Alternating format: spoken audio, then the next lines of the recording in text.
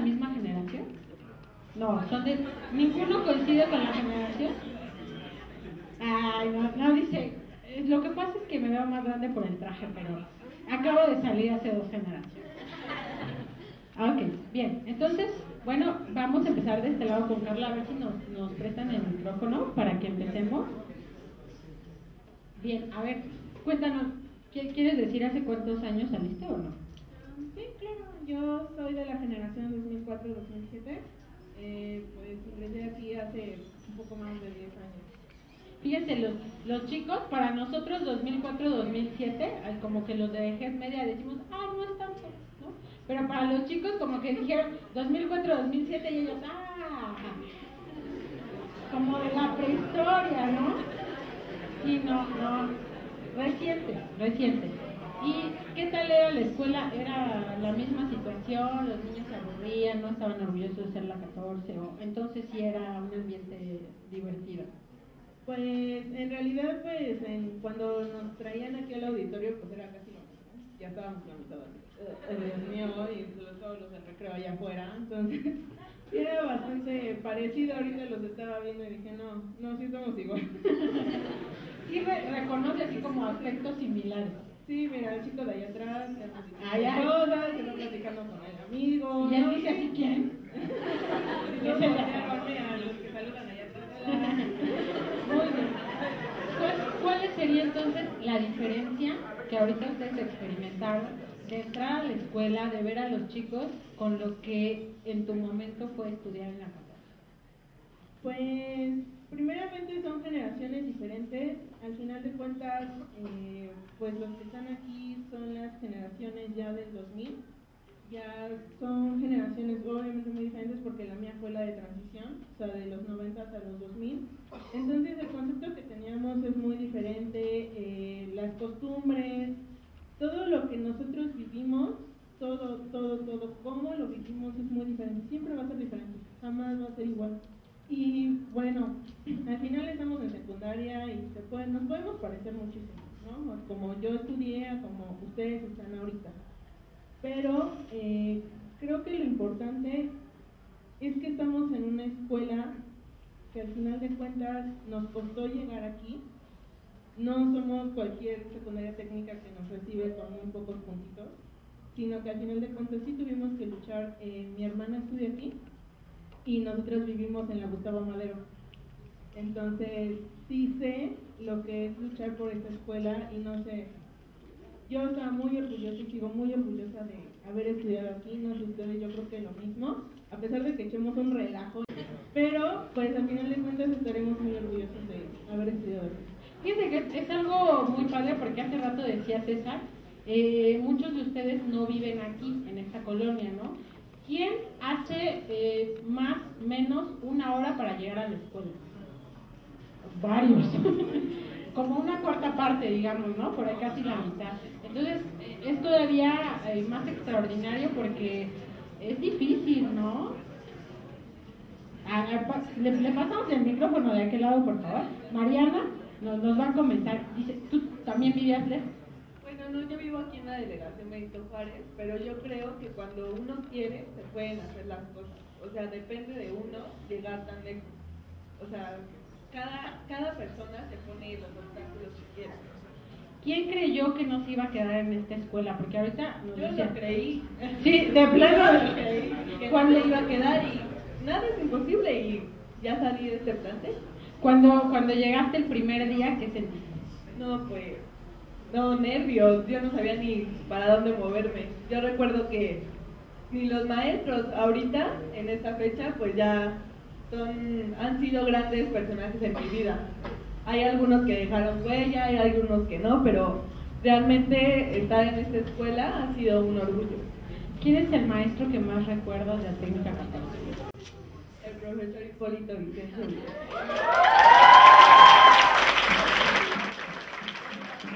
creo que todavía hay de ya no. Ah, pero entonces, ¿cómo lo conocen?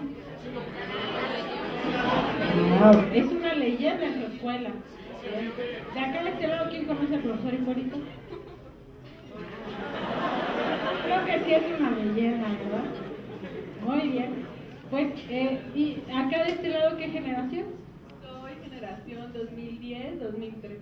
Ah, más cercana todavía, ¿eh? Es apenas ayer. Muy bien, cuando uno sale, que es muchas de las cosas que ahorita les preocupan a los chicos, es cuando salga la técnica 14, ya voy como a la realidad, ¿no? ¿Cómo es salir de la 14 e incorporarse a una prepa, a una boca? ¿Cómo es ese momento de, del salir de la secundaria? No, pues, es difícil. Bueno, yo, yo lo tomé en una situación muy difícil. A mí no llevaba los aprendizajes que eran para tomar ese nivel. Un nivel, pues que sí, sí es más difícil y que ahí sí no es, ay, no hacerle caso al profesor y no, ahí es, si tú quieres, llegas, si no, no. Que es mucho, a veces los exalumnos es lo que nos dicen. Eh, les, preguntamos qué le dirían a los muchachos y es muy eh, constante el que nos dicen no, que, que le echen ganas, que de verdad aprendan. Pero yo creo que desde ese lado, si te lo hubieran dicho, hubieras dicho, ah, sí. Ellas se lo dijeron y no hizo caso, así que es muy complicado, ¿no?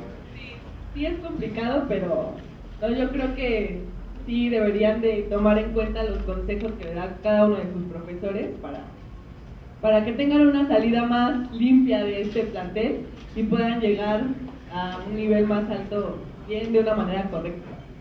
¿Eh? Bueno, pues muchas gracias. Pasamos de aquel ahora sí con los caballeros, por favor.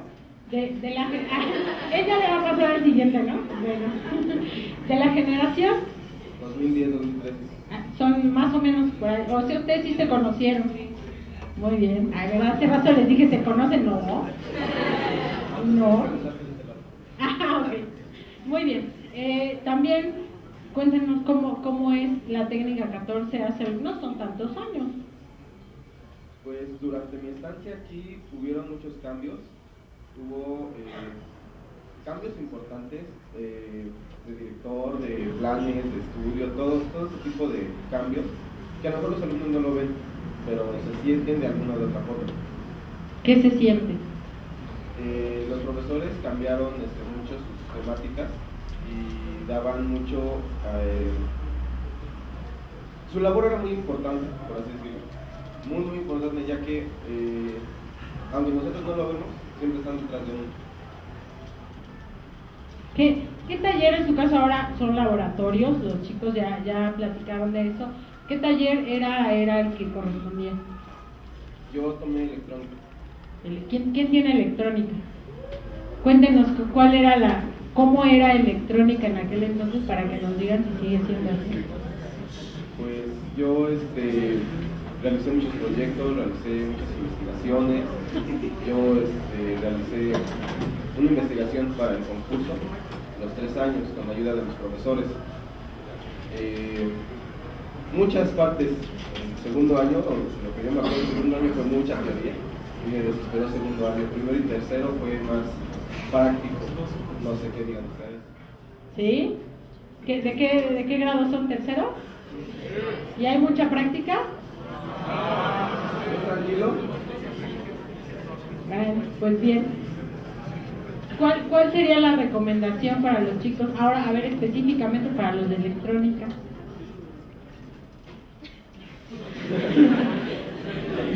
A ver, eh, pues que así como están ya en el taller lo aprovechen, porque a mí, a mí me abrió muchas puertas y yo realmente dije, ah, me voy a meter electrónica para ver qué, qué sucede. Y ahorita, este, con mi constancia de que llevé ese taller, eh, pues he, he tenido muchas puertas abiertas a muchas oportunidades, por experiencia y por nuevos amigos por conocer. Muy bien, ahora sí, pasamos. Generación 84, 87. Bueno, ahí sí ya nos vamos más atrás. No tanto. Ta- Tampoco, ta- tampoco es de la primera generación, pero sí ya vamos un poquito más atrás. Bien, ¿usted también conoció al maestro Hipólito? ¿Y qué tal? ¿Sí lo hubiera recomendado como profesor? ¿Qué era? Yo no sé por qué es una leyenda. A ver, cuéntenme por qué es, es una leyenda. Pero sí era tan famoso. ¿Por qué? ¿Era buena onda o era estricto?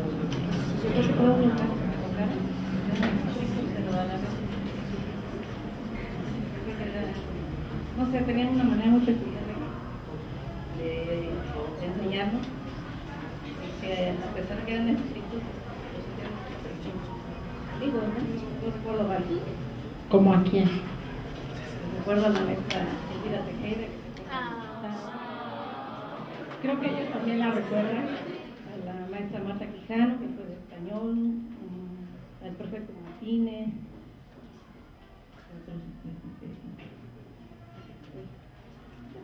A varios.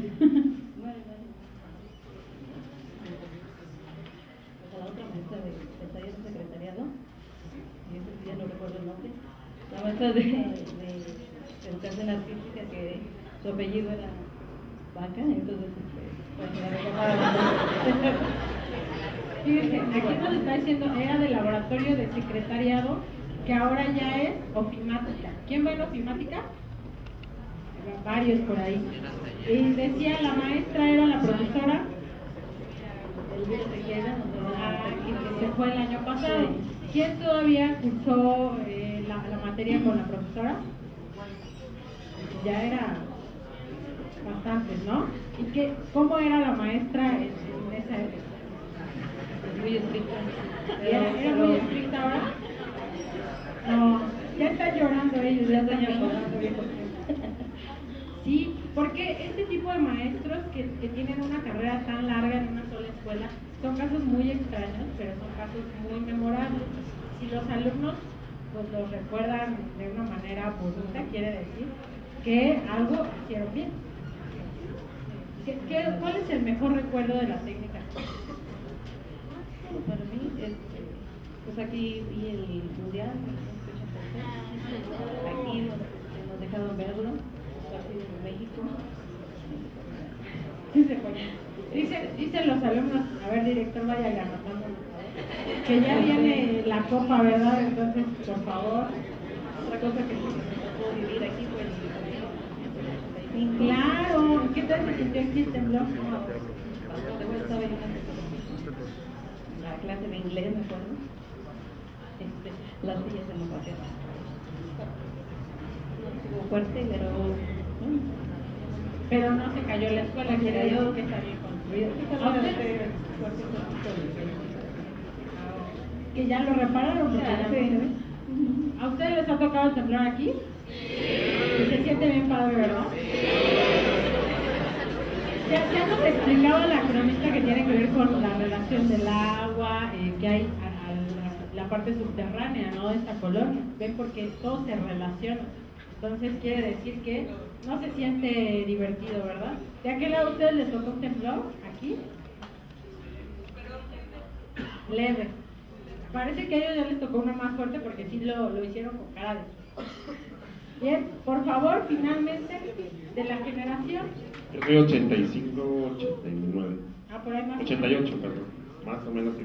Ustedes vivieron un año por ahí con ustedes. Sí, yo creo que sí. También me tocó estar con el prefecto Martínez, con la maestra Quijano, con la maestra Baja. También tomé mecanografía con la, con la profesora Tejeda, entonces, este, que me acaban de decir poco que fue. Este, miren, la verdad, el, el, el pasar por esta secundaria debe ser un orgullo para ustedes. Hay mucha gente que quiere estar en esta secundaria, pocos lo logran. Aprovechen esa, esa oportunidad que tienen porque son tres años que se van rapidísimo. Después se van a ir a una preparatoria. pues, si, si bien nos va, podrán quedarse en alguna de la UNAM, en otros casos tendrán que ir a una particular.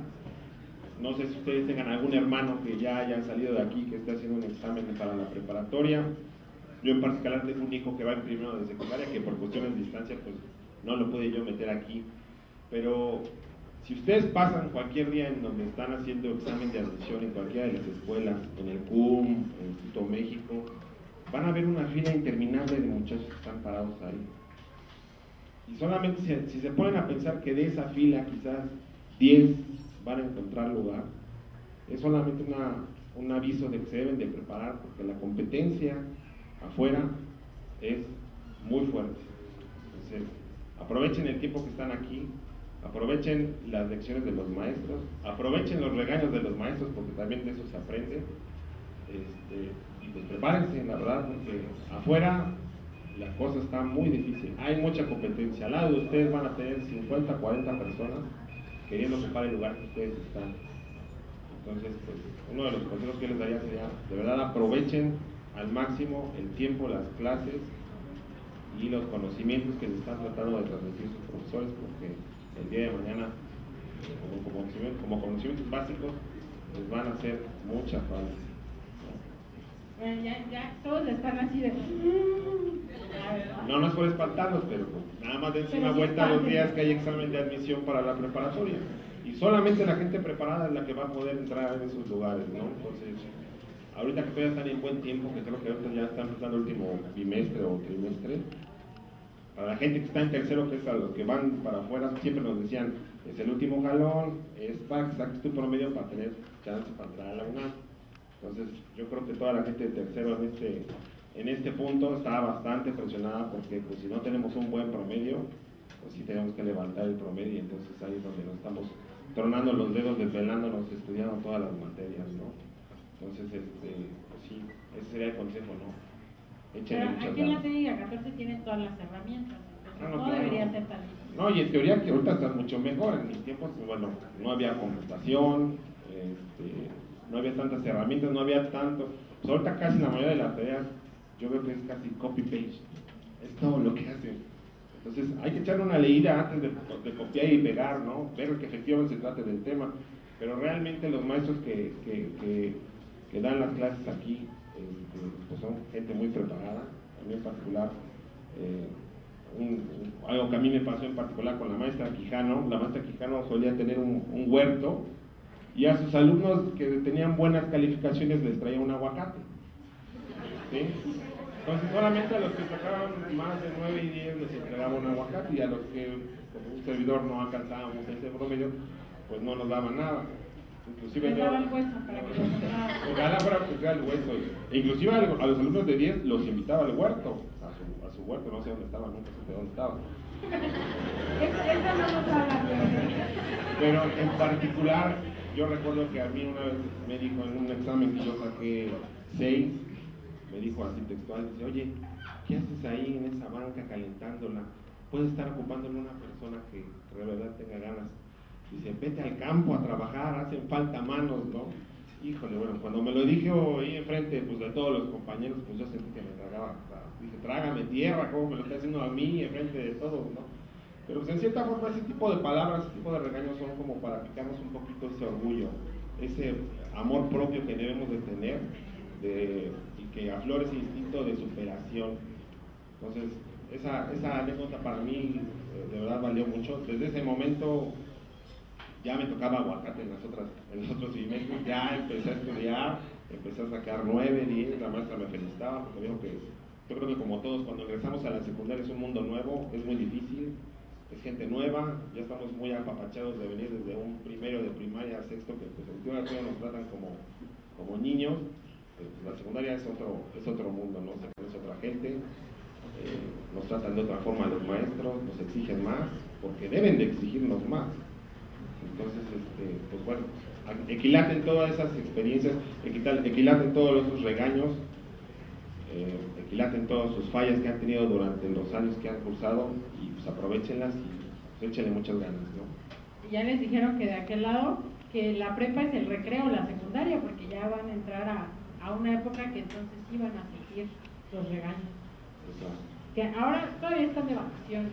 no, ahorita todavía, ahorita todavía andan, andan tras de ustedes, en preparatoria ya no. Sí es mucha libertad, pero pues también no hay que confundir la libertad con el libertinaje. Yo creo que es una frase de todos los papás, así que ya se la deben de saber de memoria. Sí, dice todo. Sí. Bueno, pues les agradecemos mucho haber compartido todas estas lecciones de vida. También nos pasamos